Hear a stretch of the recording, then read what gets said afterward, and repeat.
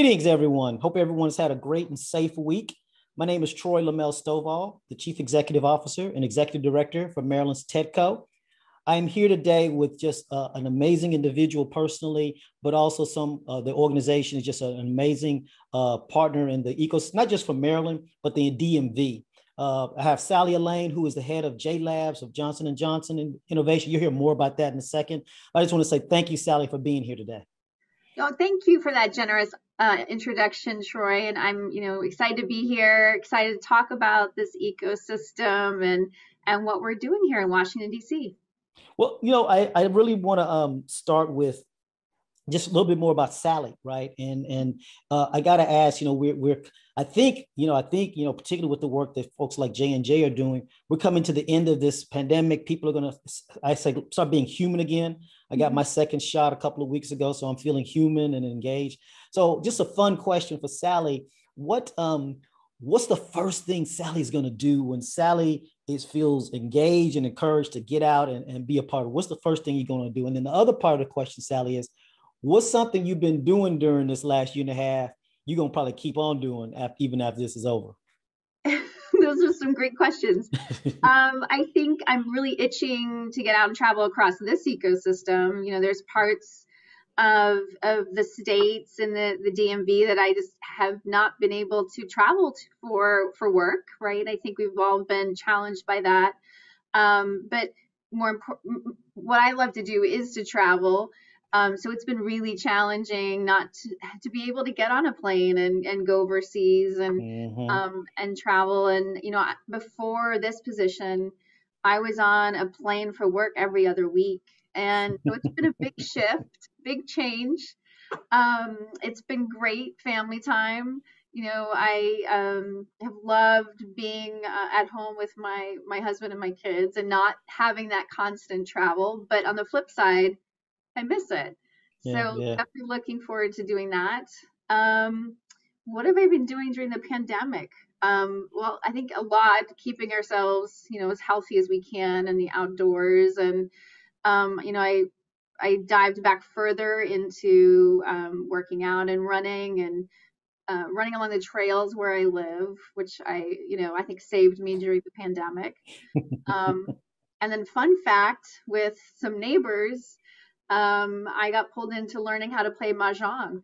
So, which Whoa, is a really look. difficult game I've learned. so we we needed something to keep ourselves um, doing something well, different, busy. So that's something I'll continue. You gonna keep? But you gonna keep that one up? I hope. That sounds that sounds fun. Yeah, absolutely. Cool. Well, look, I think um, I'd like to really start with uh, a little bit about your background. Um, I mean, you are a woman who's a scientist uh, in biology and microbiology training, um, and I, you know, I'd like for you to talk to, you know, there's a young lady out there who's who's who's trying to be a, a woman in the science field. I'm an, I'm an engineer by training, so I understand when you're the only black, you're the only woman in, in that space. Just a little bit about your journey, uh, and then uh, things you had to overcome, and how you got to to J Labs. Yeah, so I think you know when we look at girls and women in science, right? We we know there are inflection points at which they step out of STEM mm-hmm. STEM 2D fields. So I say STEM 2, thinking both manufacturing and math, and then design as well. Mm-hmm. So there are studies that, that show girls and women step out at um, certain parts of their um, studies. So girls step out um, early on and and don't get engaged enough um, in in high school. Um, we know at the assistant professor level, that's another level where women are stepping out because they are not in, in supportive environments. Um, they're not getting the mentorship they need. Mm-hmm. Um, and then professionally, right? Um, I think women are selecting out as well. So, you know, I think we we have an obligation to our daughters um, and to the women who are behind us to create supportive systems and networks um, so that they do stay in um, and understand also why girls and women are are stepping out at these inflection points. I think the the one thing that kept me engaged in science um, after high school and college and, and kept me on that scientific path were actually all male mentors.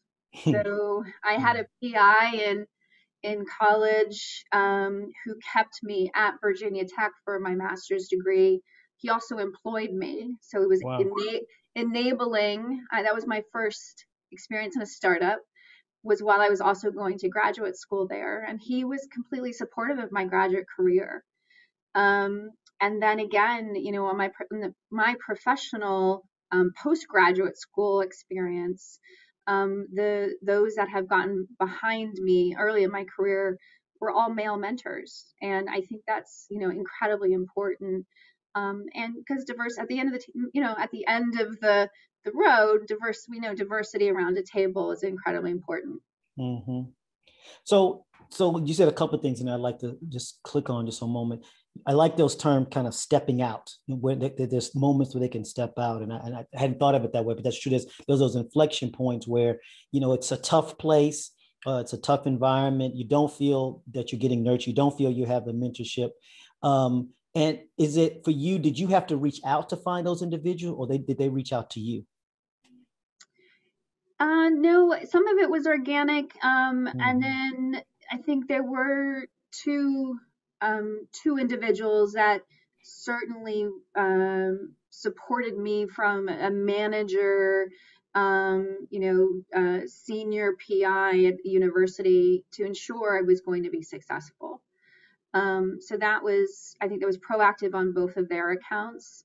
Um, one in my professional career um, was a mentor, but he was also a big sponsor of mine as well you know, making sure I was being represented in rooms where I wasn't necessarily sitting um, for consideration of other opportunities. And I think that's also incredibly important for career growth and career progression that you have sponsors who are speaking mm-hmm. up on your behalf um, so that you can be successful and that you can get access to opportunities. Yeah, and that's tough because if, if, particularly if you're the only one, what's the only black, only woman, mm-hmm. and you're mm-hmm. having to reach out to that to those white males, you know, how do you even have that communications with them so that they can be that uh, be that champion for you? Uh, it's, it's something I know I struggled with early on in my academic and professional career, but it's something as, as you and I both are talking to someone who's out there listening, that's what you have to do. You have to kind of be willing to risk it. So kind of it is there's an entrepreneurship, if you will, nature to this of kind of exposing yourself and having a little bit of risk in that career and your academic career, so that someone will notice you. Yeah, and I think it's also fair to say in reverse, if your network looks the same as you, mm-hmm. that's a big problem, mm-hmm. right? If if you know if you are hiring and you don't have reach to a diverse network, um, then I I could guess you're probably not going to be hiring um, diverse individuals, right? So exactly. Um, I think it's a good good reminder that we all need to be continually cultivating, whether it's our internal professional networks or our external networks, to make sure that you know it's diverse whether that's individually whether that's sector diversity of so that we can learn um, you know what people are doing in other sectors um, and being successful what they're doing to be su- successful and what um, they're implementing. Um, and so i think yeah i think that's a it's a big um, aspect in business and professional mentorship i think is incredibly important I know I couldn't agree more. So let's learn about J Labs. Let's learn about J Labs. Um, you're head of J Labs is a part of Johnson and Johnson, but many many folks may not know about this. So I want you to let folks know. And I think you got something you want to talk to us about. Yeah. So J Labs is part of Johnson and Johnson Innovation. So we uh, have embedded ourselves into ecosystems where we see innovation, th- you know, thriving. Um, we really truly believe that the best science um, comes from not only the innovation that we're doing within our walls, but also externally within ecosystems.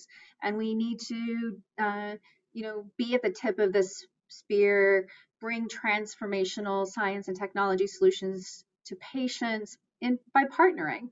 Uh, mm-hmm. Uh, so here in Washington D.C., so Johnson Johnson Innovation J Labs at Washington D.C. Uh, officially opened this this week, this month, um, and we are here to source and support um, entrepreneurs and early stage companies, either in farm working in pharmaceuticals, medical devices, consumer health. We are anchored here on the new Children's Nationals Research and Innovation Campus in Northwest DC.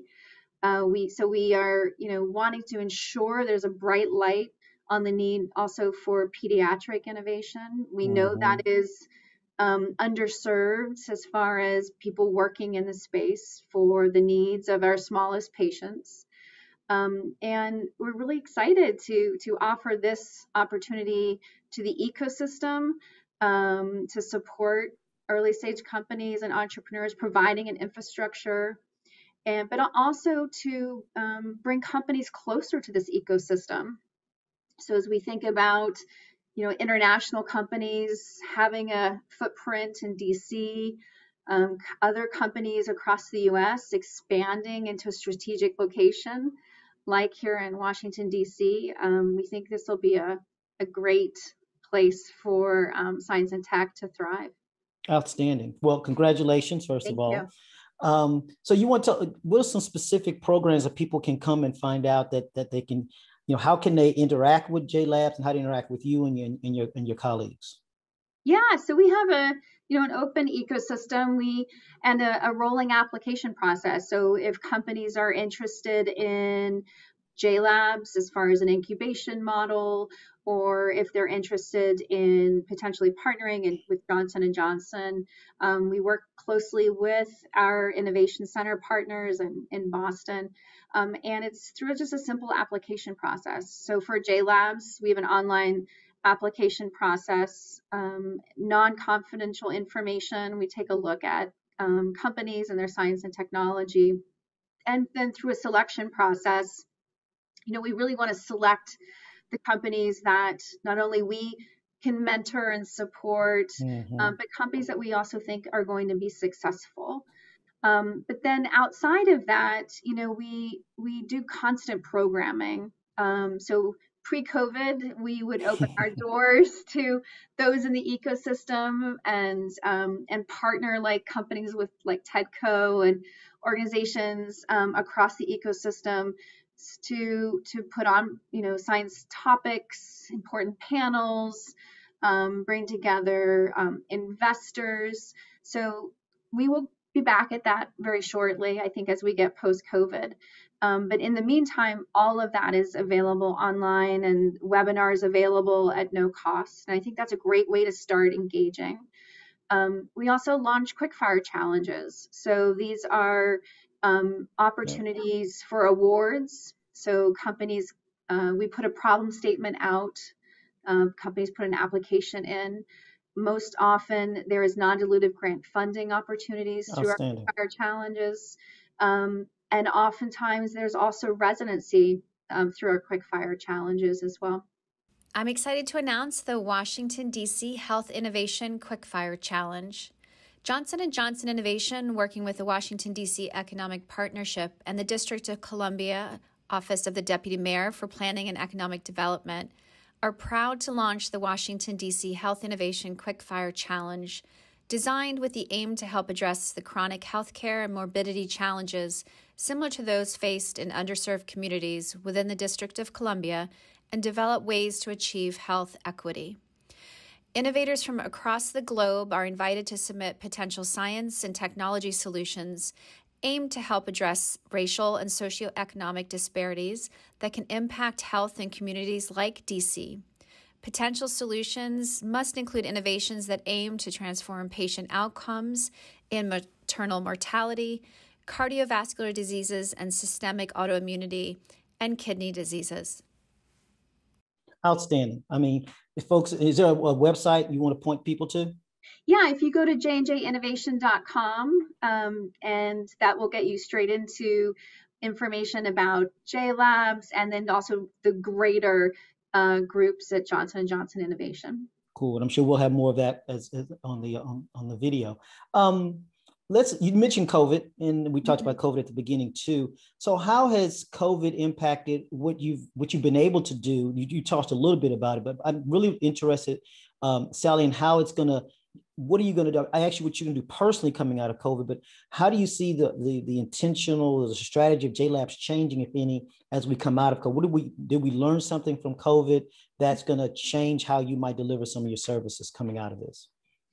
Yeah, that's a great question. Actually, something that we signed pre-COVID. So when we announced that we were moving here on the Children's National Research Innovation Campus and partnering with Children's National, we also announced a partnership that we have with BARDA under the Department of Human Health Services. Mm-hmm. Uh, and this partnership uh, called Blue Knight is an initiative dedicated to the advancement of medical countermeasures, basically mm-hmm. aimed at securing our nation from CBRN threats, so chemical, biological, uh, radiological, and nuclear threats um, as well as pandemic influenza and emerging infectious diseases. So we signed this pre COVID, um, and then COVID happened. Um, and this partnership, as part of Blue Knight, um, JLabs at Washington, D.C. will be the hub for Blue Knight. Oh, outstanding. It's hub and spoke model. So we have a dedicated footprint here for Blue Knight for companies um, that are developing science and technology um, that are will could respond safe to our next pandemic. Um, that could provide technologies and solutions um, when we think about you know responding to our next threats. So we're you know we're thinking about um, threat agnostic technologies, commercial preparedness applications, like alternative delivery methods for vaccines and therapeutics and diagnostic tools. So Blue Knight is an opportunity for JLabs at Washington, D.C. Um, and, and before JLabs at DC opened, um, we essentially expanded our partnership with uh, with BARDA. And in response to COVID, we selected seven companies from across the JLabs global portfolio, um, and we saw, you know, how their work could fill gaps um, in you know diagno- COVID diagnostics, therapeutics, vaccine development, um, and other potential solutions. So it was essentially a surge force um, in response to the COVID-19 yeah, yeah, yeah. pandemic. Yeah. yeah. So how can we work to support these companies and accelerate you know their development, the potential solutions uh, to patients and families?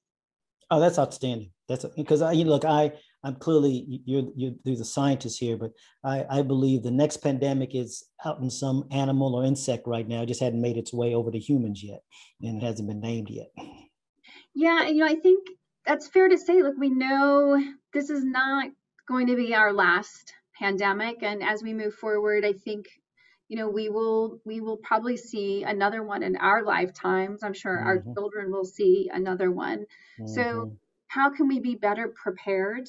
Um, how can we take the lessons learned from this pandemic um, and be more prepared? I think there's a lot happening across this ecosystem here um, in response to that. Um, these public private partnerships like Blue Knight i think have a an incredible opportunity to support um, early technology and early companies working in space and get them closer to where BARDA would put a partnership in place um, and then commercial you know we, how do we commercialize these these technologies and, and, then also you know create a stockpile so that we can respond to the next pandemic? Um, i think what's very interesting and happening across the ecosystem here, both in Maryland and Virginia, is on the manufacturing side. Yeah. So, you know, we've learned um, we need to have increased manufacturing capabilities here in the United States. Um, so the work that's being done in, in Maryland, um, the work that's being done down in Virginia, I think um, if that manufacturing capability can be kept warm essentially, so you know it's being used constantly so that when the next um, response is needed it, it's not a turn it back on but it's it's there and can, and can support You know, as you were talking, and, and this next question may be not one that JLab itself, but clearly your your your parent company Johnson and Johnson was was a big part of kind of getting this getting a vaccine out and, and doing it in in in what I think many of us, uh, particularly those of non-scientists, would say was record time. Was an amazing time frame, and so you know the whole as technology uh, pick, picks up pace in terms of its evolution, in terms of its next version, next version, the human ability to adopt it and, and to trust it, uh, it always lags that. And so I know if you guys have ever thought about, you know, how do you get people to trust in these technologies, particularly these medical technologies, where you know they've got to be put into our bodies uh, when they haven't had the same when we're used to things taking a much longer time. And because of technologies, we're going to be do some. We're going to be able to do some of these things in a faster place, faster way. Yeah, it's a great question. I, I mean, I think when you look at um, the United States um, and, and certain groups and populations, there's still a, a big distrust in science um, mm-hmm. and vaccine. So I think we all have a lot of work to do to to build that trust. Um, you know, I was actually just talking to someone last night. You know, the, the Department of Defense is having a challenging time um, vaccinating. Um, you know, percentage of the military I think is less than 50% who will take this vaccine, which is and it, and it tends to be a younger generation who are not taking it. Mm-hmm. Um, we know in Black and Latino um, populations, there's a big challenge on trust. Mm-hmm. So, you know, how do we how do we build back that trust um, in underserved communities where um, they haven't had access to healthcare or there is a mistrust on healthcare? Um, and I think we need to do that by, you know, bringing to light things like diversity in clinical trials, um, diversity in what we're pro- providing our consumers and patients. Uh, you know, I'm pleased to, um, you know, share that we're bringing in companies that are working on that here at J Labs at Washington D.C. So I, I, have a company. We we have a company coming in, uh, Acclinate, um, and they are solely focused on um, an e-DICT platform, so diversity in clinical trials. So using both AI and ML to identify diverse members who will be likely to participate in clinical trials. But what is making them unique is they also have a platform called Now Included. And this is uh, a platform to build trust in communities around healthcare um, and health solutions. So it's really integrating into cities and neighborhoods um, to build trust in communities where it's been lacking. So, do you have at within J Labs? Are there specific programs that are targeting um, un, uh, under, underserved entrepreneurs? We're about to build some things, which I think is will be pretty exciting. You know, I think um, I'm pretty proud to represent. So if I represent the entire JLabs portfolio, um, you know, our we look across the entire um, portfolio and our the diversity of our CEOs. So 31% are female-led companies. That's great. An additional 30% are minority-led companies, and these are racially and ethnically diverse CEOs in the United States. So already, you know, we're living into DNI. We see how important it is. Um, and, you know, here in Washington, D.C., um, we're excited to put a brighter light um, on um, minority led companies um, and support them in their success. We know women um, and even women of color have really challenging times getting access to, to capital. Mm-hmm. Um, yes. You know, Black first time entrepreneurs have an even harder time getting access to capital. So, why is that? Um, you know, how can we put um, some support around these really talented scientists um, and make sure that they're going to be successful and open up our networks so they can get access um, where the system hasn't provided that access before. Well, you know, we're a partner at TEDCO. Uh, I'm personally very committed to this, but we have a number of programs that you're aware of.